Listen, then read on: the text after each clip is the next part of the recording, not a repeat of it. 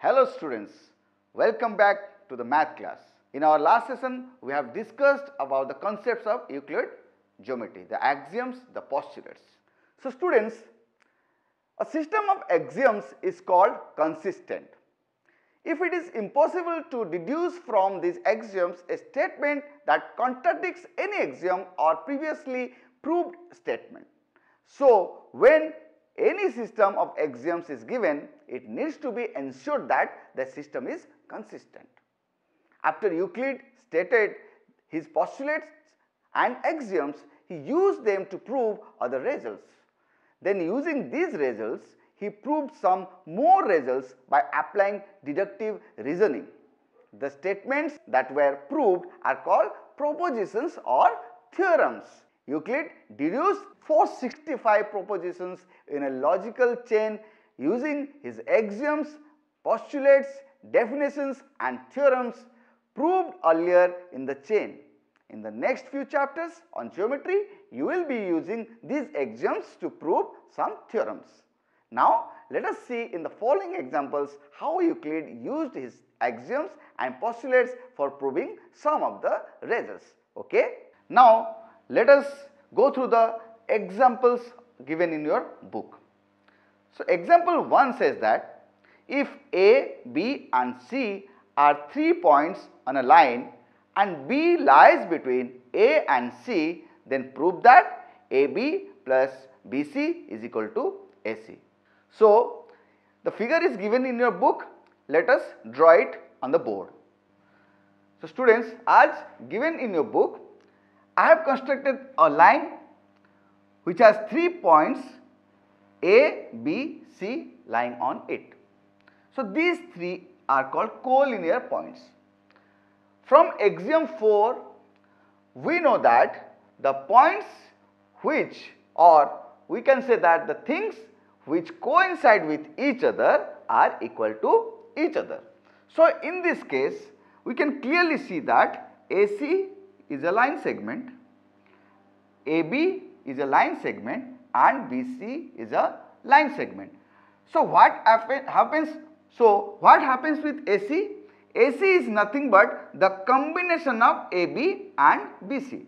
That means AC is equal to AB plus BC. But why we can say that AC is equal to AB plus BC? Because AB plus BC which is a line segment itself, okay?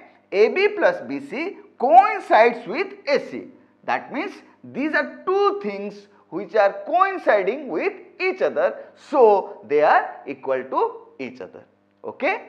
So, we can come to the conclusion that AC is equal to AB plus BC by using the axiom 4 of Euclid. Okay? Students, let us discuss example 2. What it says? It says prove that an equilateral triangle can be constructed on any given line segment.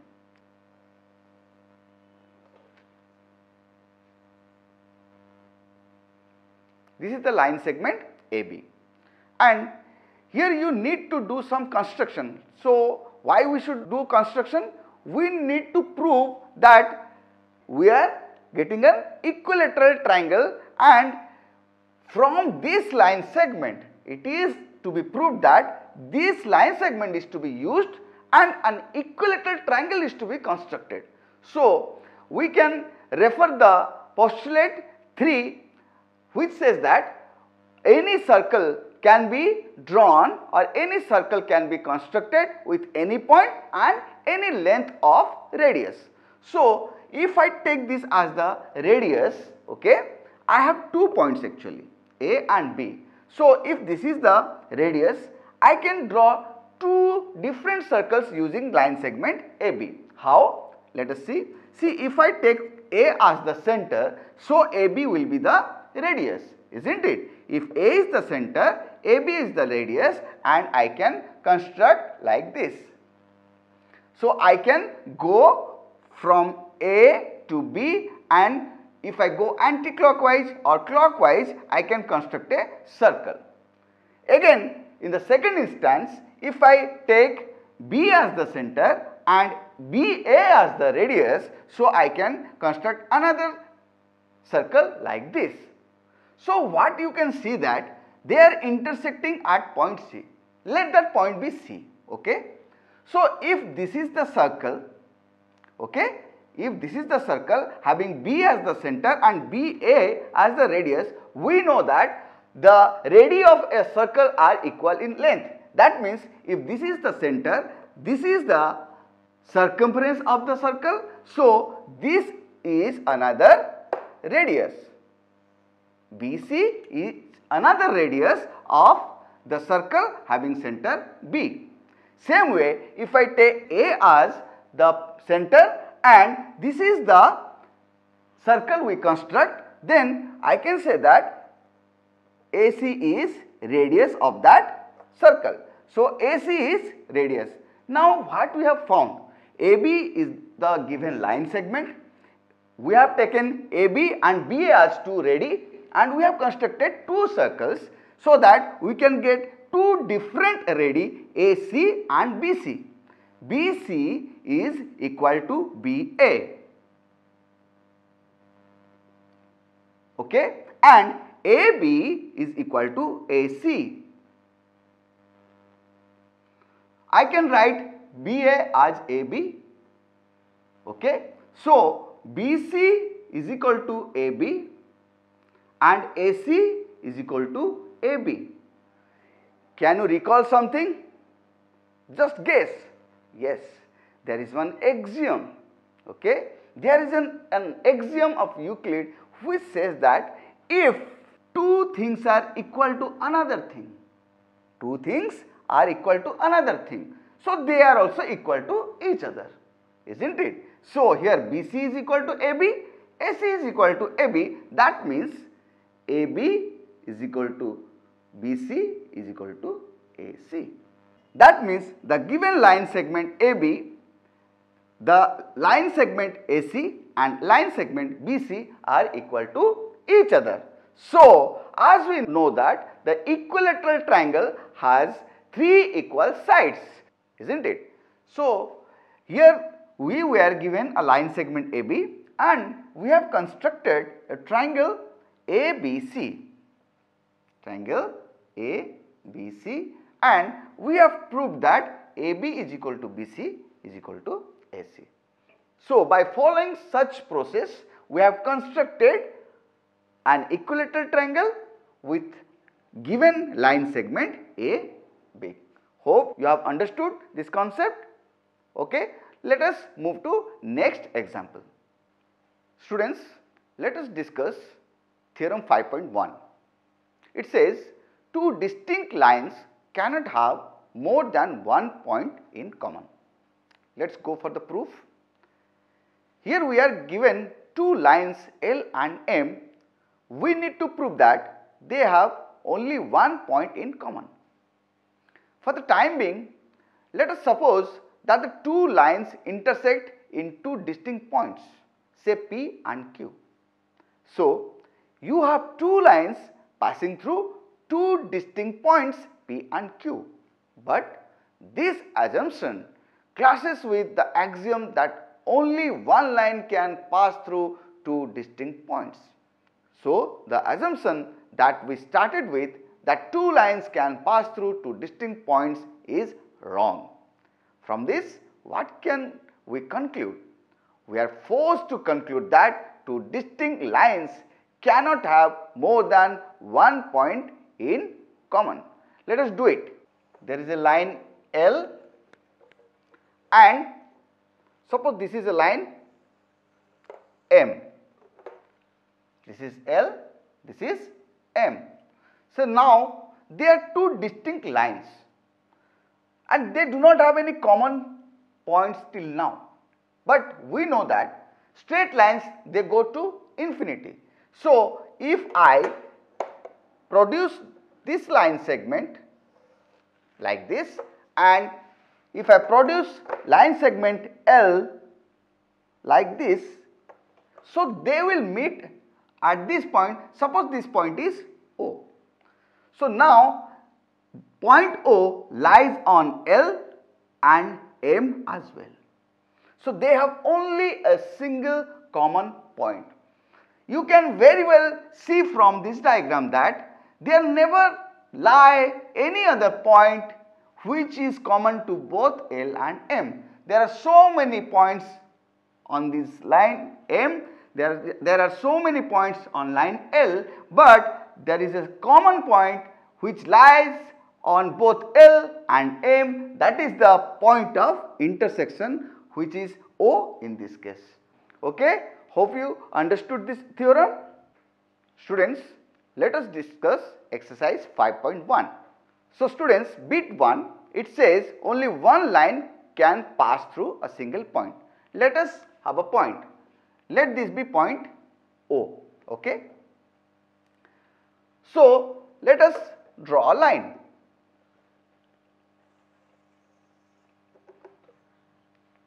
We can see that there is a line, it passes through this point O. But it is not true that only this line is passing through the point O. We can have multiple lines which can pass through this point like this. We can have n number of lines passing through point O. So, the statement that is given only one line can pass through a single point is false. Next bit is there are an infinite number of lines which pass through two distinct points. We have two points suppose P and Q. We know that these points can be called collinear if they lie on a single line. So, when I draw a line through P and Q, we can clearly see that P and Q lie on the single line, isn't it? So, the statement is saying that there are an infinite number of lines which pass through two distinct points. There are an infinite number of lines which pass through two distinct points. So, this statement is also false because there is a single line passing through two distinct points. Suppose I have a point over here so I can say that these two points lie on another line. Same way, these two points lie on another line. Suppose this is M. So I can say that P and M lie on line, suppose this is L. Q and M, they lie on another line, suppose this is X. And M and Q lie on the line X and P and Q, they lie on suppose another line named Y. So, two points they lie on a single line. Okay. So, two points they lie on single line. So, the statement there are an infinite number of lines which pass through two distinct points is false. A single line passes through two distinct points. Okay.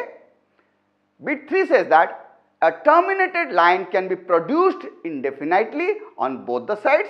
We have already seen in the postulate of Euclid that a line segment can be produced indefinitely on both sides. So, this statement is true.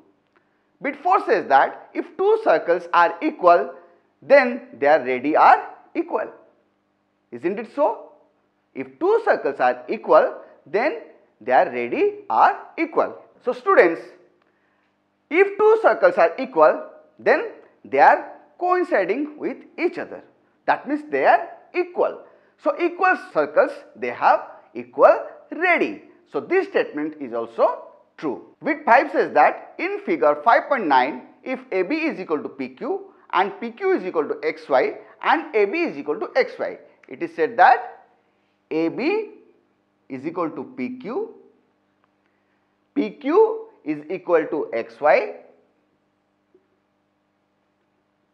and xy is equal to AB or AB is equal to xy. Okay? AB is equal to PQ, PQ is equal to xy, AB is equal to xy. Isn't it true? Let us check it out. See, AB is equal to PQ and PQ is equal to xy. So, we know that things which are equal to the same thing are equal to one another. That means AB is equal to PQ and xy is equal to PQ. So, AB is equal to xy. So, this statement is also true. Okay? Students, question number 2 says that give a definition for each of the following terms. Are there other terms that need to be defined first? What are they and how might you define them? Bit 1 is parallel lines. So, see this scale, okay? There are two lines which are going parallel to each other. Can you see that? These two lines, the upper one and the lower one, they never meet with each other. We can define that parallel lines are those lines which never meet with each other or they never intersect each other at any point. Another way of saying this is that parallel lines are those lines which maintain a perpendicular distance, okay, perpendicular distance between each other, okay. So, if I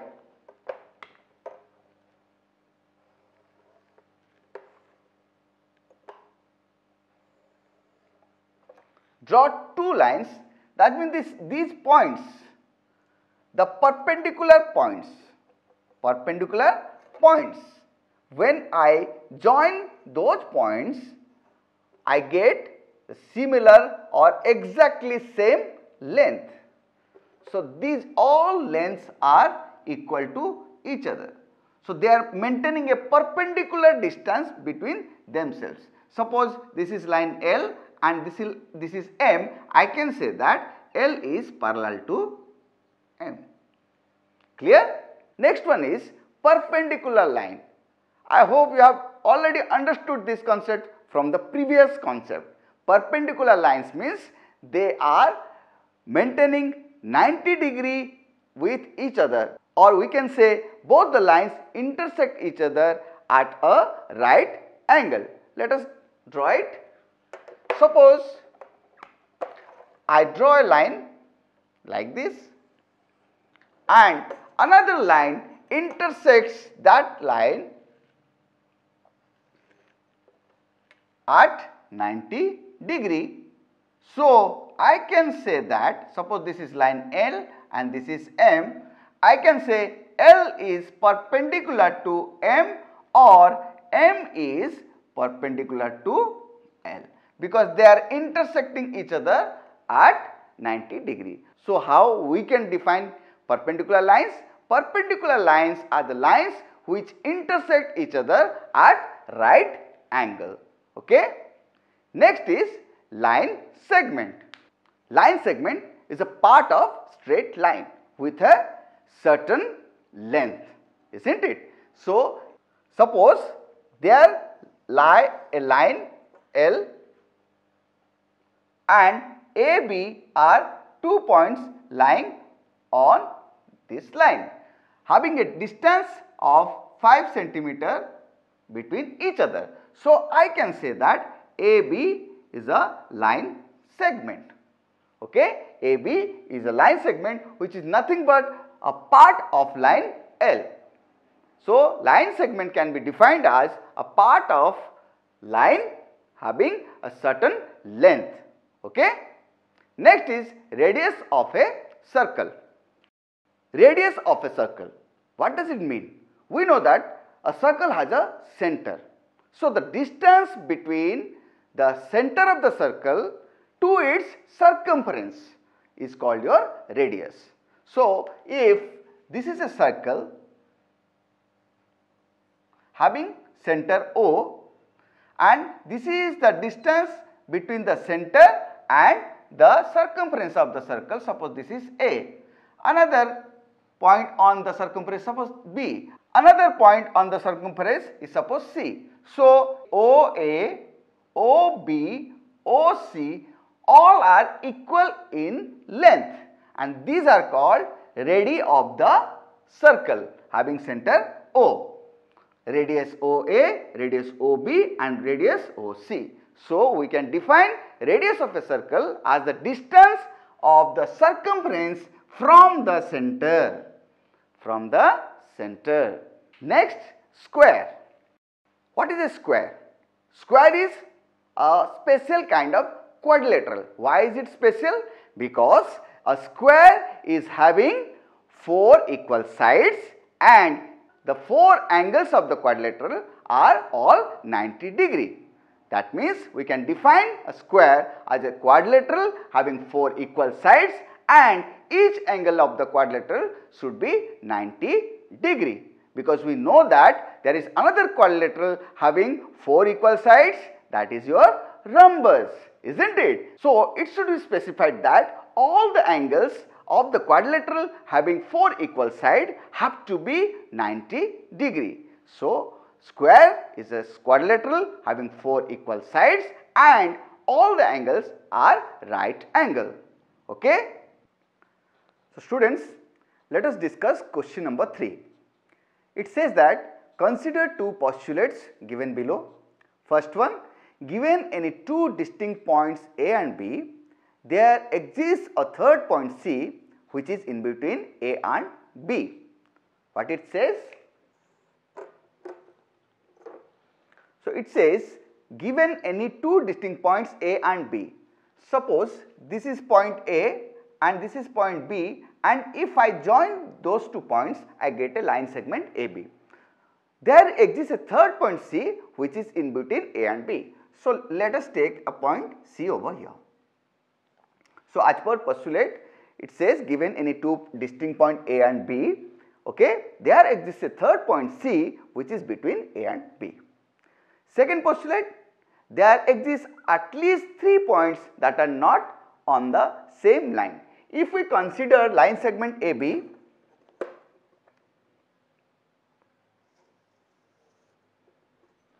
so point A and point B. There are two distinct points A and B and the postulate says that there exists at least 3 points that are not on the same line. So, we can have a point C over here. We can definitely have a point C over here. So, the question says that do these postulates contain any undefined terms? Exactly. It has some undefined terms like your point, line, Okay, these are not defined in these postulates. We can say that these postulates contain some undefined terms like points and lines. Second question asks that are these postulates consistent? We can answer it as yes. See from the diagram we can see that as per the first postulate A and B are two distinct points and C is another point which is lying between A and B. So, it is absolutely fine. As per the second postulate, A and B are two distinct points and C is another point which is not lying on the line segment AB. So, there exists at least 3 points those are A, B and C that are not on the same line. So, we can say that yes, these postulates are consistent. The third question says, do they follow from Euclid's postulates? No, they are not following Euclid's postulate rather they are following one of the axioms of Euclid. Fine, hope you have understood. Students, this is it for today's class. We have gone through the examples and we have gone through the bit number 1, 2, 3 of your first exercise. Revise the concepts related to the example and the exercise, we will go through all other questions of the first exercise and in our next class we will go through other questions of the first exercise and move with some more concepts from the chapter. Till then keep practicing, keep smiling. Thank you.